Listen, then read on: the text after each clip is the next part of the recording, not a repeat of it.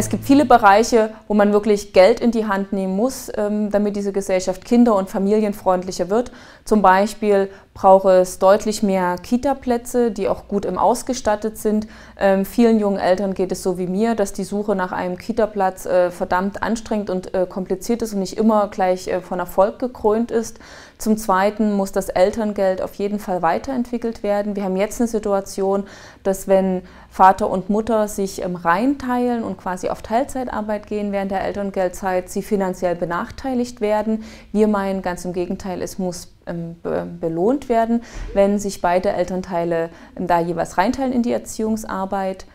Wofür man aber definitiv 0 Euro ausgeben muss, ist das Betreuungsgeld. Denn das Betreuungsgeld setzt die vollkommen falschen Anreize.